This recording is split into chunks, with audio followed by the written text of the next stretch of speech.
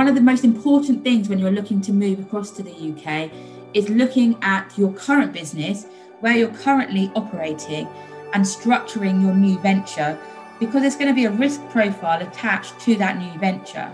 So one of the questions we need to explore first of all is whether you you know you, you continue to operate your New Zealand company through the New Zealand company in the UK or whether you incorporate a new entity in the UK. So we'd work with you and guide you around that to make sure that you're properly protecting your business assets.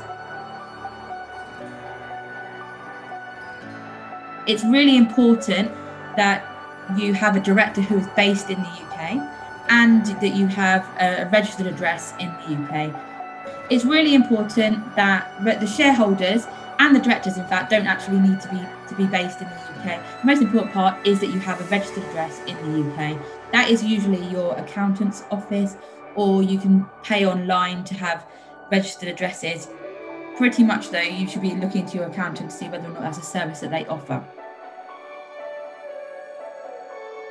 Depending on how you structure the UK entity and who those shareholders are, um, it's likely that you'll need to have a shareholders agreement governing the responsibilities of the shareholders to each other.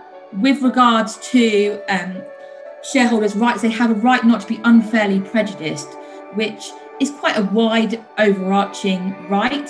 So um, it's really important that shareholders, majority shareholders, and all shareholders, as well as directors, keep that in mind.